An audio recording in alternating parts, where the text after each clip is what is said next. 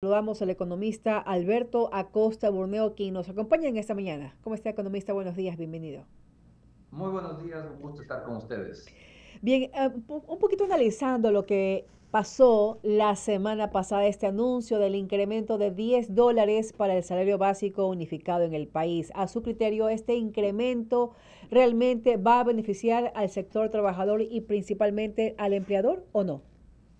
Mire, aquí yo creo que todavía hay una tarea muy grande en materia salarial y es que tenemos que ir hacia incrementos técnicos de los salarios. E incremento técnico no es medir la inflación. El salario no depende de la inflación, depende de la productividad del trabajo, que es algo muy distinto. Depende de lo que produce cada trabajador. Eh, a nosotros no nos pagan para trabajar, nos pagan para producir, que es algo muy distinto. El día que entendamos esa diferencia, vamos a entender también qué sucede con los salarios. Los salarios tienen que ir al mismo ritmo que sigue elevándose la productividad del trabajo. ¿Y por qué se eleva la productividad del trabajo? Porque hay más inversión, más tecnología, más máquinas, más equipos, o porque hay capacitación también en los trabajadores. Todo eso eleva la productividad. Entonces, el desafío en el país es abandonar estas prácticas o políticas o decir es que aquí hemos considerado la inflación eh, un incremento por la inflación en ciertas circunstancias puede ser absolutamente insuficiente o en otras circunstancias puede ser excesivo. Eh, necesitamos ir hacia un tema técnico en materia salarial para evitar lo que estamos viviendo ahora. En la actualidad, el empleo adecuado es un privilegio de pocos. Apenas 3 de cada 10 personas tienen un empleo adecuado. Es decir, apenas 3 de cada 10 trabajadores en el país gana al menos el salario mínimo. Economista. de cada 10 no gana el salario mínimo o está desempleado. Entonces, no fue justo. Entonces no fue justo para los trabajadores hacer el cálculo en base a la inflación proyectada para el próximo año, que esto equivale a 2.07% en la inflación ecuatoriana, según la proyección del Ministerio de Economía y Finanzas. el cálculo debió haberse hecho de manera técnica, en base a la variación en la productividad del trabajo.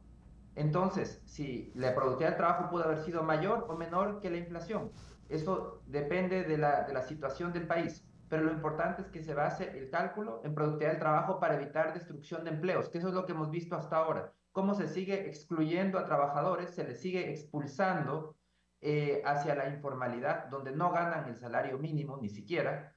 Y esto es debido a esa fijación no técnica de los salarios. Eh, fijarlas a dedo, fijarlas por criterios equivocados y fijar los salarios en función de la inflación es un criterio equivocado porque el salario no depende de la inflación. Son dos cosas distintas. El salario depende de lo que produce ese trabajador. Entonces hay que ir a una fijación técnica, ese es el desafío en materia salarial, ir hacia una fijación técnica y en un tema de fondo necesitamos trabajar ya en una, en una nueva legislación laboral. Lo que pasa... Sí, lo que pasa, economista, es de que venían las conversaciones, eh, habían mesas de trabajo con los empleadores, trabajadores y no se ponían de acuerdo. Había que decidir ya, en este caso, un valor. Sin embargo, desde su punto de vista, ¿cuál debió ser ese valor idóneo? Porque en estas conversaciones, los empleadores proponían un incremento de 4 dólares con 12 centavos, en tanto que los trabajadores proponían ubicarlo en 552 dólares, es decir, 102 dólares más de lo que correspondía para el salario básico unificado. Mire, el asunto es que esas, esas mesas de negociación es una discusión política. Eh, y lo que necesitamos es abandonar la política en la fijación de salarios e ir hacia la técnica en fijación de salarios. Entonces hay que evaluar la, la evolución de la productividad del trabajo y de esa manera determinar en cuánto debería subir el salario en un momento determinado. Así es como se deben fijar los salarios. Aquí no hay una discusión política, no hay nada que negociar.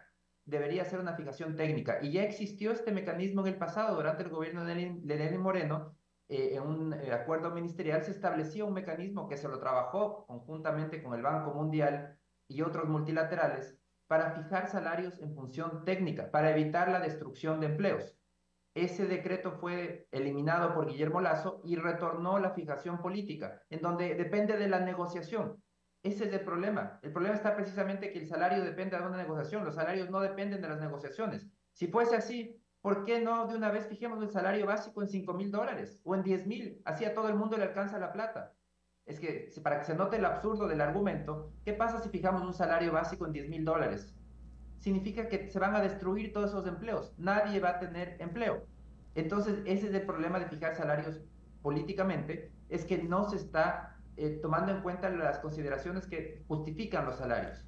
Y esa es la productividad del trabajo. Y dentro de este incremento también suben los componentes que incurren a esto, los décimos, desahucios, incluso también las horas extras. En, en este sentido, ¿cuál sería el porcentaje que debería calcular el empleador para este incremento salarial en el país? A ver, el, porcentaje técnico tiene que calcularse. Yo no le voy a decir cuál es el porcentaje, yo no he hecho ese cálculo. Es un cálculo complejo que hay que hacerlo de manera técnica. Eh, y ese es el porcentaje en que debió incrementarse los salarios eh, para evitar destrucción de empleos. Cuando se toman las cosas a la ligera o, o con equivocaciones de conceptos, se toman decisiones que tampoco están alineadas en el tema de generación de empleo y de eh, un manejo técnico de los salarios. El tema es que esto de aquí, y, yo creo que el gran desafío en materia salarial es primero eh, abandonar la política, ir hacia la técnica, y segundo entender que tenemos que modernizar la legislación laboral. Tenemos una legislación de hace más de 80 años cuando ni siquiera existía el Internet. Pensemos cuántas profesiones existen ahora que no existían en ese entonces, eran inimaginables. No podemos seguir con una legislación de la época de las cavernas. Necesitamos una legislación moderna. Y yo sé que a los ecuatorianos no nos gusta innovar, no nos gusta probar cosas nuevas. No tenemos que innovar en materia laboral. Copiemos simplemente lo que ha funcionado en el mundo, las mejores prácticas mundiales en materia laboral. Una copia exacta de lo que ha funcionado. Eso sería muy bueno para el país porque podría generar oportunidades de empleo y no lo que tenemos ahora, en donde el empleo es un privilegio de pocos, de poquísimos. El empleo adecuado, apenas 3 de cada 10 personas tienen un empleo adecuado, 7 de cada 10 no tienen un empleo adecuado. Eso significa que 7 de cada 10 no ganan ni siquiera el salario mínimo que estamos discutiendo ahora, que no trabajan al menos las 40 horas de la semana. O incluso puede ser que estén, están en ese grupo, también están incluidos los desempleados.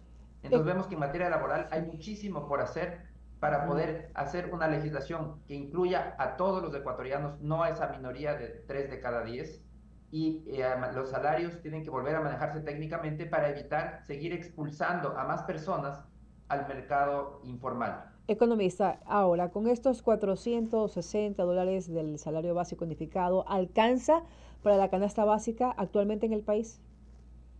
Mire, eh, aquí todo depende de cómo se fije la canasta básica pero lo importante es que si estamos hablando de eh, fijación de salarios, tenemos que entender que hay que manejarlo de manera técnica. El salario no depende de la canasta básica. Así no nos guste. Esa no es la explicación del salario.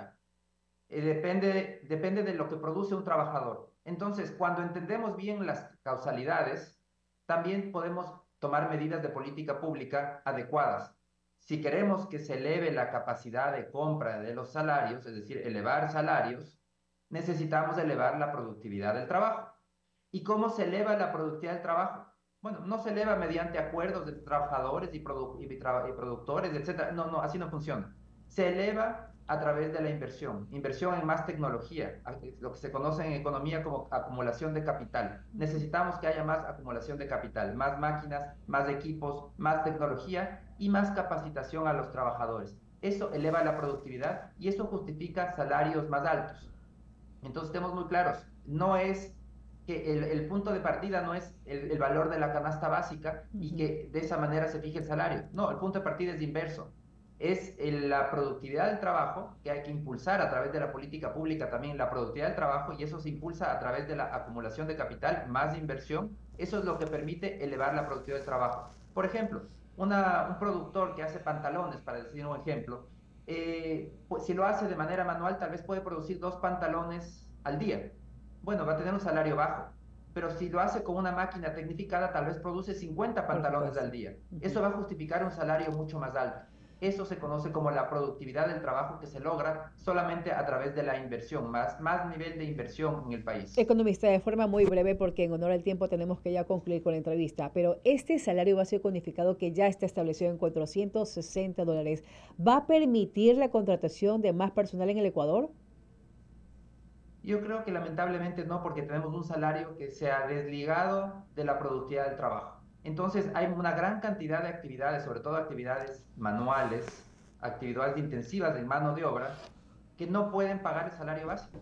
Vayamos a todas las pequeñas microempresas, microactividades que, hay, eh, por ejemplo, en la agricultura, no pueden pagar un salario básico. Entonces, esos empleos terminan siendo empleos fuera del mercado laboral formal. Eh, entonces, ese, ese es el gran desafío que hay que cambiar. Necesitamos hacer un manejo salarial técnico, una legislación laboral eh, moderna em, que permita incorporar a más grupos de la población al mercado laboral formal, porque la formalidad en empleo, este momento, es muy reducida. Estamos hablando de un grupo, apenas 3 de cada 10 tienen un empleo adecuado.